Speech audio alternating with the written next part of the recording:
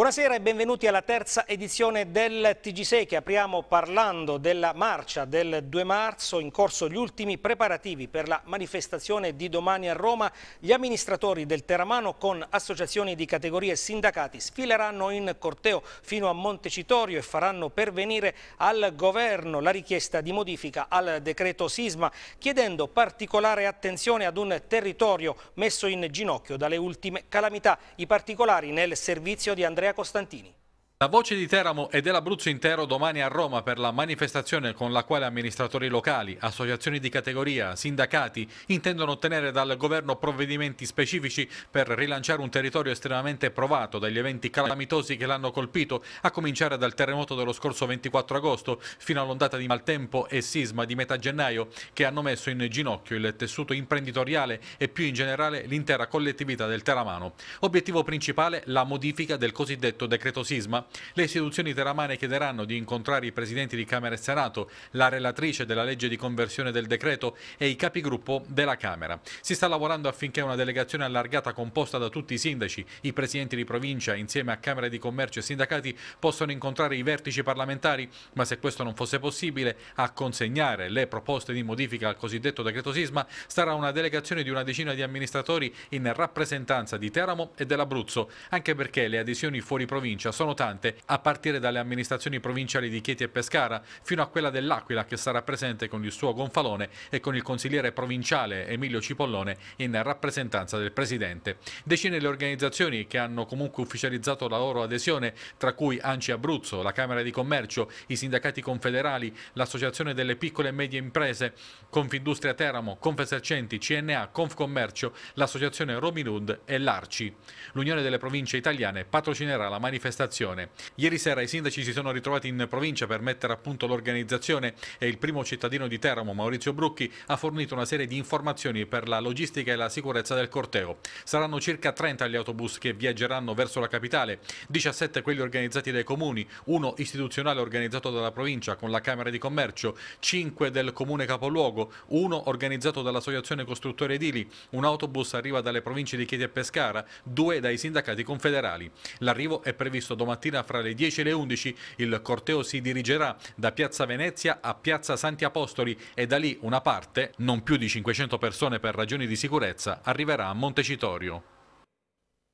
La protesta che domani vedrà sfilare migliaia di teramani e abruzzesi a Roma per ottenere maggiori fondi per il territorio non servirà a nulla, lo sostengono i consiglieri comunali di Teramo del Movimento 5 Stelle Fabio Berardini e Maria Cristina Marroni della lista Teramo 3.0 che polemizzano sulle disastrose scelte amministrative fatte dai politici negli ultimi 15 anni. Tania Bonnici Castelli. C'è aria di polemica a Teramo in vista della manifestazione di protesta a Roma. Troppo facile per i sindaci pretendere solo adesso dei fondi dopo aver governato male negli ultimi 15 anni. Lo affermano i consiglieri comunali di Teramo, Fabio Berardini del Movimento 5 Stelle e Maria Cristina Marroni di Teramo 3.0. Non siete proprio convinti di questa protesta a Roma? Beh, noi siamo per la protesta a fianco dei cittadini per far sentire le ragioni del territorio teramano, ma diciamo un secco no a una manifestazione, una passerella da parte di politici che hanno governato questo territorio da oltre 15 anni e che vorrebbero dal nostro punto di vista eh, lavarsi la faccia con questa manifestazione addossando tutte le responsabilità al governo quando invece la maggior parte delle responsabilità sono proprio di chi ci governa localmente. Cosa avrebbero dovuto fare secondo lei in questi 15 anni? Anni? Beh, sicuramente utilizzare gli strumenti che sono stati messi a disposizione dalla protezione civile e dal governo stesso per fare investimenti sul territorio. L'ultimo eh, strumento messo a disposizione è scaduto il 20 febbraio da parte eh, appunto dell'ultima finanziaria che eh, dava la possibilità ai comuni di eh, utilizzare delle risorse fino a 700 milioni per investimenti sulle scuole e per le calamità naturali e il comune di Teramo non l'ha utilizzato perché grazie grazie alla situazione disastrosa del bilancio non ha potuto accedere appunto a questa forma di finanziamento che era stata messa a disposizione dallo Stato. Quindi non possiamo lamentarci se eh, coloro, i veri responsabili anche di questo dissesto e di questa eh, grave situazione di crisi è da addebitarsi proprio a coloro che ci governano da 15 anni. Quindi voi domani non andrete a Roma? Noi domani andremo a Roma ma con i cittadini, non per farci selfie, per farci foto, per fare eh, appunto passerelle politiche con i simboli. Noi andremo lì con i commercianti, con i cittadini eh, semplici diciamo, ma sicuramente non andremo lì a pulirci la faccia eh, anche perché siamo eh, coloro che eh, non hanno mai amministrato questo territorio e quindi siamo gli unici credibili che possiamo veramente andare a testa alta. Da Teramo sono stati già completati 34 pullman. Al corteo a Roma parteciperanno anche rappresentanti dell'Aquila, di Chieti e di Pescara, tanti gli abruzzesi illustri che si uniranno ai loro conterranei, tra loro l'attrice teramana Grazia Scuccimarra. E da Teramo ci trasferiamo all'Aquila dove questa mattina si è insediato il nuovo questore del capoluogo di regione. Si tratta di Antonio Maiorano, il servizio di Germana Dorazio. Antonio Maiorano è il nuovo questore dell'Aquila. Qual è stata la prima impressione?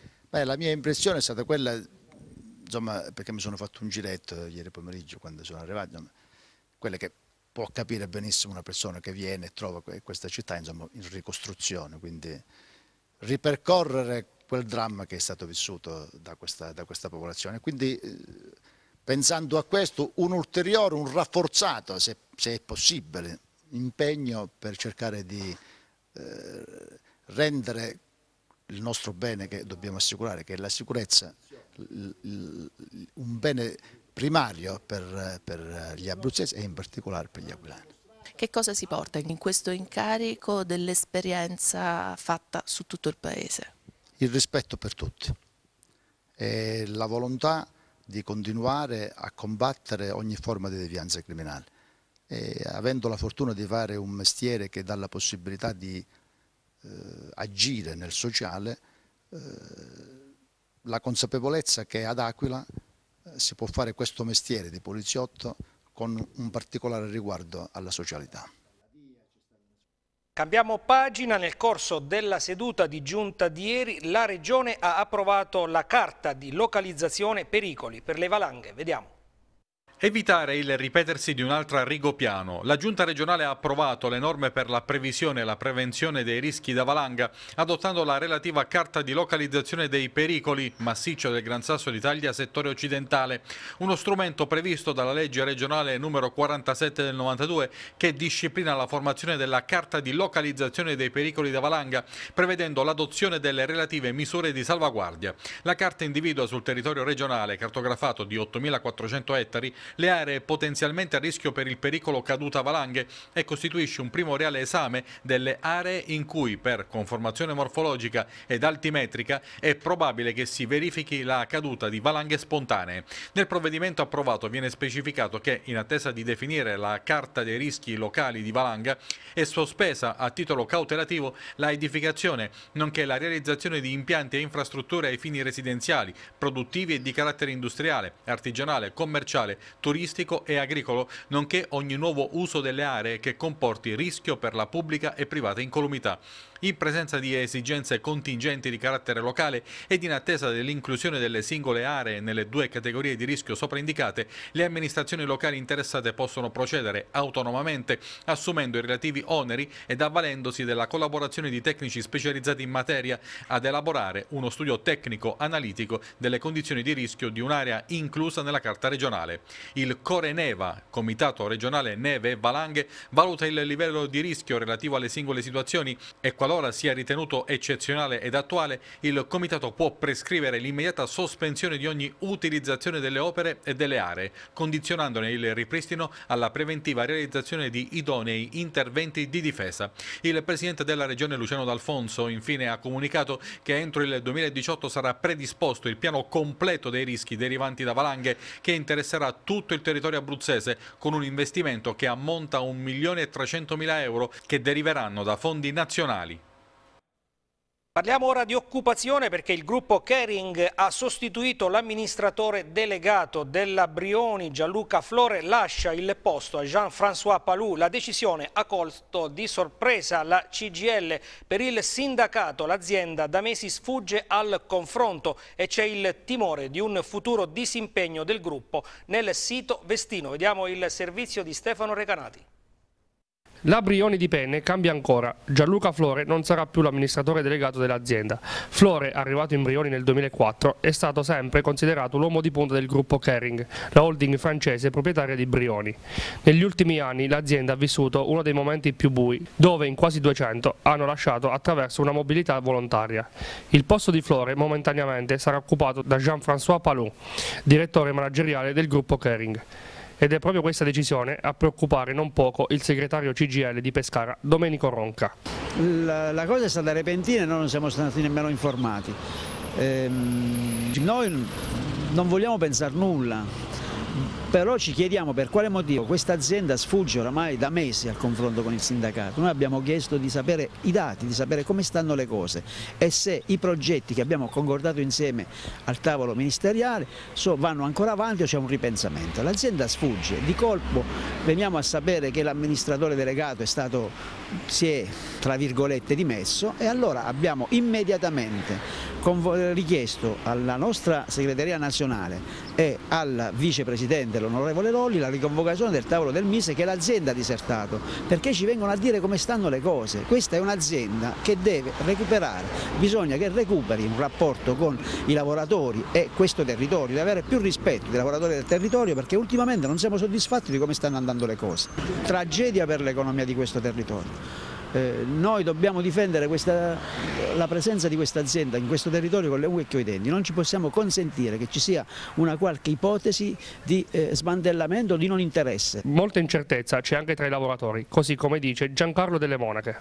Purtroppo in questi ultimi tempi il clima è già teso, molto teso. Pensavamo di aver trovato un po' di sollievo nell'incontro del 30 con l'amministratore che era venuto qui in azienda, ma dopo il comunicato fatto ieri dal direttore delle risorse umane che annuncia l'uscita di Gianluca Flore dalla Kering eh, abbiamo paura di cadere di nuovo nel baratro.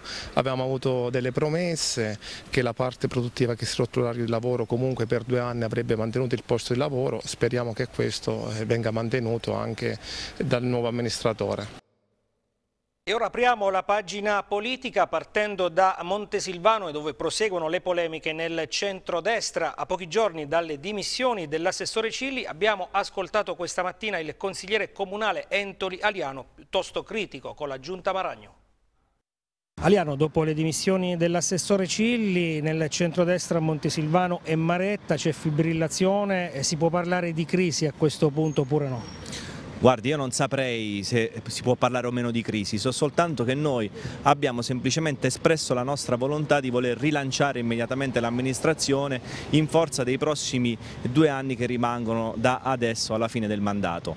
Il rilancio di un'amministrazione deve passare necessariamente da un programma concreto, da un programma valido e dunque da esecutori capaci di saperlo porre in essere.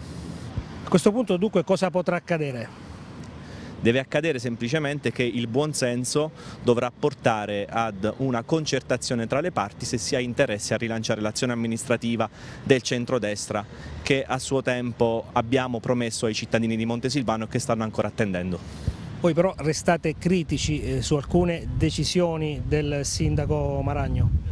Il programma va rivisto completamente, il programma va eseguito, vanno ripresi i punti che abbiamo proposto ai cittadini quando ci hanno conferito la fiducia, fino ad oggi semplice amministrazione ordinaria tipica di un concordato di un fallimento. E da Montesilvano andiamo a Giulianova dove è stato approvato il bilancio e i nostri microfoni. Ascoltiamo il primo cittadino, Francesco Mastromauro.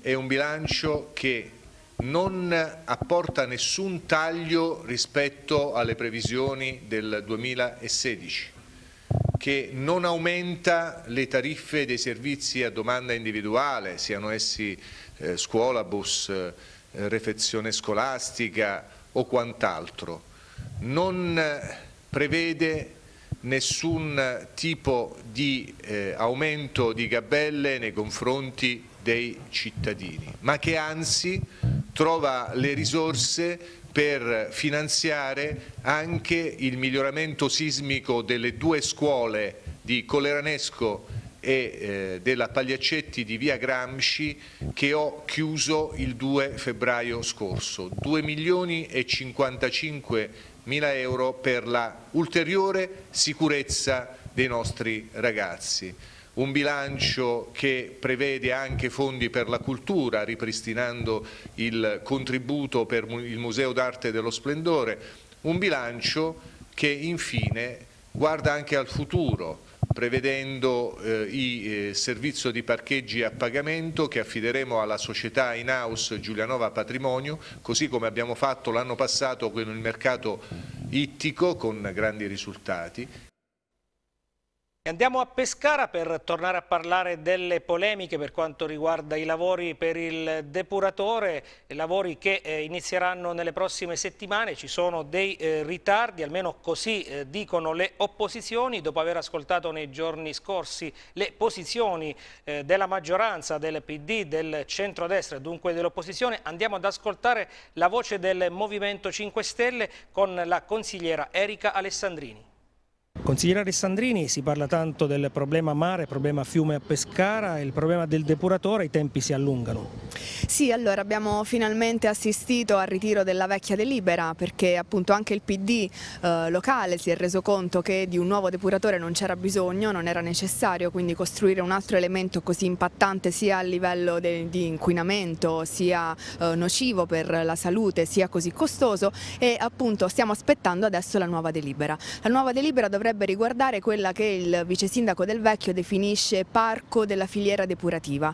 Allora, fermo restando che un parco non esiste, un parco depurativo perché comunque ci sono leggi e direttive che vietano la vicinanza dei cittadini e delle abitazioni a elementi depurativi, a strutture depurative, aspettiamo di sapere che cos'è effettivamente questa filiera depurativa. Eh, si parla di alcune vasche di raccolta di acqua di prima pioggia, vasche di sgrigliamento, ma nessuno eh, nel, chiaramente Presidente, attraverso anche delle, uh, dei documenti tecnici, ha mai spiegato esattamente che tipo di struttura è e soprattutto di quanto spazio si ha bisogno, perché nella delibera dovrebbero essere riconfermate le tre aree uh, come indirizzo su cui collocare appunto queste nuove strutture, ma ci aspettiamo di sapere esattamente di quanto spazio si ha bisogno e per fare che cosa. Dall'altra faccia della medaglia c'è la preoccupazione dei balneatori per eh, l'estate che sta arrivando. Ci sarebbe stato bisogno di fare molto prima, perché finalmente è un'epoca in cui i soldi li abbiamo, abbiamo molti soldi a disposizione per fare degli interventi che sono quelli necessari per risolvere il problema.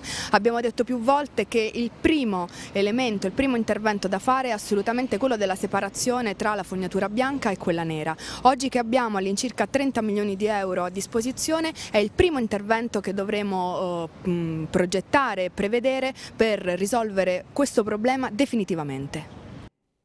Restiamo a Pescara per parlare del mercato di Piazza Muzzi, a breve partiranno alcuni lavori per eh, migliorare la struttura ma negli ultimi giorni ci sono stati anche dei danni eh, provocati da alcuni vandali, a tal proposito abbiamo ascoltato l'assessore al commercio del comune di Pescara Giacomo Cuzzi.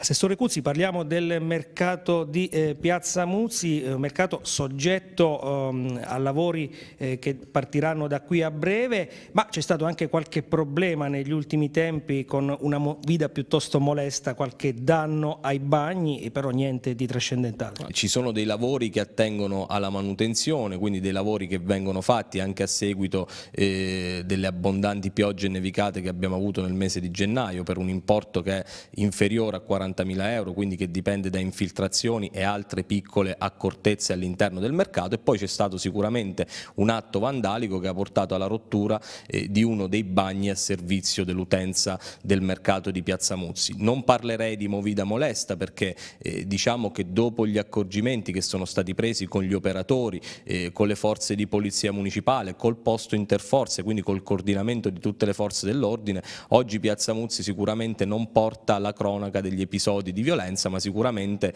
eh, una movida che deve essere ancora educata per una convivenza felice con la, con quelli che sono poi anche i residenti che hanno diritto al riposo. Abbiamo pubblicato il bando per il bar che scaduto, eh, che scade proprio oggi il primo marzo, quindi arriveranno sicuramente le proposte che porteranno all'allestimento di un ulteriore punto eh, all'interno del mercato commerciale e poi ci saranno altri due spazi che metteremo presto a bando per completare quella che è l'offerta della Galleria Food che vuole porsi come un momento di eccellenza enogastronomica del territorio ma anche di organizzazione di eventi di qualità.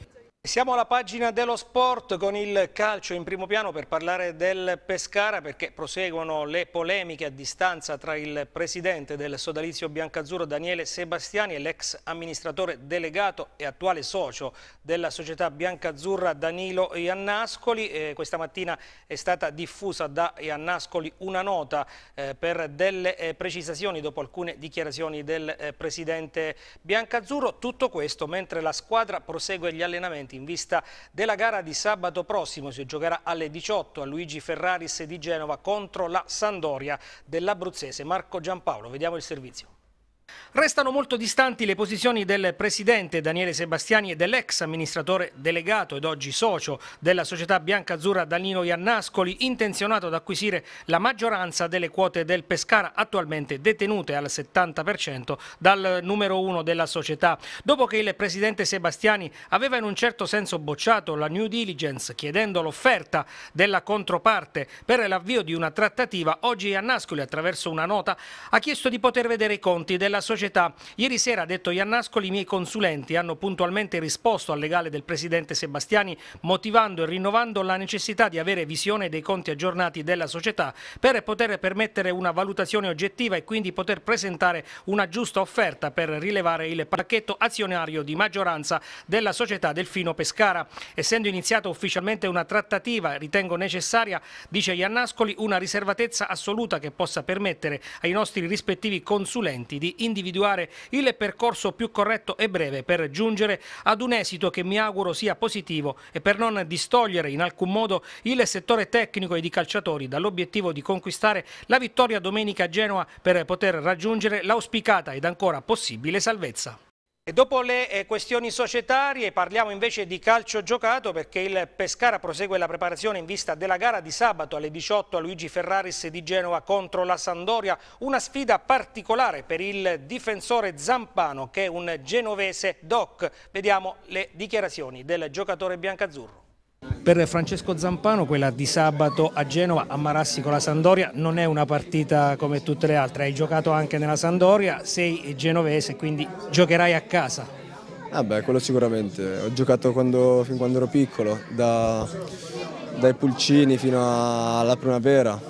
E sono stati 12 anni, 12-13 anni molto belli, vabbè ero piccolo quindi Comunque sì, torno a casa a Genova e niente, speriamo di fare la partita noi, di, di, di ottenere la vittoria e, e di sicuramente fare una grande partita. Marassi è uno stadio che regala comunque emozioni, Pescara cinque anni fa in quello stadio eh, conquistò eh, una promozione in Serie A. Sì, mi ricordo, ha fatto pure gol Caprari, tipo. E sì, sì, noi adesso settimana prepariamo bene la partita e cercheremo di comunque dare il massimo, quello che non ci è riuscito contro il Chievo e di ripartire dal 5-0 comunque di, di Genoa, quindi speriamo bene. Veniamo da una sconfitta domenica contro il Chievo che niente, adesso stiamo preparando bene la partita e sicuramente loro vorranno vincere perché comunque Marassi è uno stadio importante, il tifo importante e vorranno fare bene anche per i tifosi, quello che vorremmo fare pure noi e per le persone comunque che verranno a Marassi, i tifosi del Pescara. E, e, niente, speriamo di regalare una gioia anche ai tifosi. Lo dicevi anche tu prima, non dovrete commettere gli errori eh, commessi al, al Bentegodi con il Chievo. Sì, sicuramente eh, in settimana ci stiamo allenando bene e speriamo di, di fare risultato. Dalla Serie A ci spostiamo in Lega Pro, impegno difficilissimo per il Teramo di Ugolotti domenica pomeriggio al Bonolis contro la capolista del girone, il Venezia di Pippo Inzaghi, ma i biancorossi potrebbero trovare un valido alleato negli scontri diretti di bassa classifica della prossima giornata di campionato, il punto nel servizio di Jacopo Forcella. Se l'avversario di certo non strappa sorrisi, il calendario, o meglio gli incroci di domenica prossima, potrebbero essere un valido alleato nella rincorsa alla salvezza del Teramo. Chiaro che la premessa per la banda Ugolotti è quella di provare a fermare o quantomeno frenare la capolista Venezia, anche perché la mano bisogna darsela per primo da soli, ma è altrettanto evidente che il diavolo scenderà in campo al Bonolis domenica pomeriggio conoscendo già il risultato del Braglia del giorno prima, dove è in programma un Modena Lumezzane da brividi, coi canarini di Eziolino Capuano a quota 28 e per ora ancora un po' fuori dai radar biancorossi e con i Lombardi che sull'altro fronte si ritrovano a meno uno dalla formazione teramana. Da un capo all'altro della giornata, il lunedì sera il Forlì al Tardini di Parma parte decisamente sfavorito e i gialloblu dell'Abruzzese d'Aversa hanno nelle corde una vittoria che lascerebbe i romagnoli a 29 punti ma con una posizione di classifica decisamente più tranquilla rispetto all'11 di Ugolotti. Ma non è finita qui, perché il Bassano, ancora scottato dai sei gol rimediati a Pordenone e dall'esonero del tecnico Luca D'Angelo, avrà voglia di riscatto in casa contro il Mantova. Il clou della zona calda però sarà il del Conero di Ancona, coi dorici appaiati col diavolo a quota 24 punti che riceveranno la visita del Fano, fanalino di coda, distante solo 4 lunghezze. Il Teramo si augura un pareggio che lascerebbe tutto invariato, così come preferirebbe il segno 2 all'Elvia Recina di Macerata, dove arriva il Gubbio, che invece invece è in piena lotta per gli spareggi promozione. Tanti discorsi, moltissimi incroci, ma tutto passa dalla sfida del Bonolis, che il Teramo dovrà affrontare sapendo di trovarsi di fronte una squadra che ha vinto 6 delle ultime 7 partite, con in mezzo il pareggio interno proprio col Parma. Insomma un avversario non proprio agevole, ma che sarà privo del portiere Facchine e del difensore centrale Malomo, entrambi squalificati. Ugolotti, proprio dalla squalifica invece, recupera imparato, Spighi sarà a disposizione ma andrà in panchina, modulo che dovrebbe essere confermato con Barbuti e far coppia con Sansovini. Attenzione all'ex Stefano Moreo che giocherà esterno nel 4-3-3, sull'altro fronte Marsura, mentre al centro l'ex bresciano Geico. Lasciamo il calcio, venerdì e sabato prossimi si disputeranno a Pescara le Final Four di Coppa Italia di basket in carrozzina, in competizione anche l'Amicacci Giulianova che peraltro organizza l'evento in collaborazione con il Comune di Pescara. Conto alla rovescia per le Final Four di Coppa Italia di basket in carrozzina che si disputeranno venerdì 3 e sabato 4 marzo al Palelettra di Pescara. Ci sarà anche l'Amicacci Giulianova che ha l'onere e l'onore di organizzare la manifestazione e che nella semifinale di venerdì ore 16 se la giocherà con la super corazzata Porto Torres. Nell'altra semifinale ore 18 si sfideranno Cantù e Potenza Picena. Dall'Amicacci l'invito a seguire l'evento. Questo è uno sport stupendo, eh, non dobbiamo pensare di andare in un palazzetto a vedere dei ragazzi che a fatica corrono dietro una palla, questi sono degli atleti veramente e in questa circostanza abbiamo le quattro migliori squadre d'Italia che appunto si contendono la Coppa Italia, è, una, è un trofeo nazionale questo. E, e, quindi ci sarà senz'altro uno spettacolo meraviglioso. Chiaramente eh, noi cerchiamo di riempire al massimo, abbiamo lavorato tanto, ci farebbe tanto piacere che questi ragazzi, anche perché questi ragazzi più hanno pubblico e più riescono a dare. Eh, e quindi niente, veniteci a vedere perché veniteli a guardare perché sono dei ragazzi meravigliosi, degli atleti meravigliosi. Il Comune di Pescara sostiene la manifestazione nell'ambito del progetto Solidarietà fa sport. Ai ragazzi diciamo nelle scuole proprio attraverso eh, la società Micaci e tutte le altre associazioni che hanno aderito al progetto e che quindi si trovano all'interno delle classi, all'interno delle scuole, vogliamo dire che gli ostacoli vanno affrontati e, e superati con coraggio, determinazione e impegno e questo è un grande insegnamento per gli studenti, per i ragazzi perché spesso si arrendono davanti agli ostacoli, anche agli ostacoli ostacoli della vita ed è un grande insegnamento anche perché vuole essere un'attività di sensibilizzazione nei confronti delle persone con disabilità. Ed è tutto per la terza edizione del TG6, grazie per averci seguito dalla nostra redazione l'augurio di una serena notte.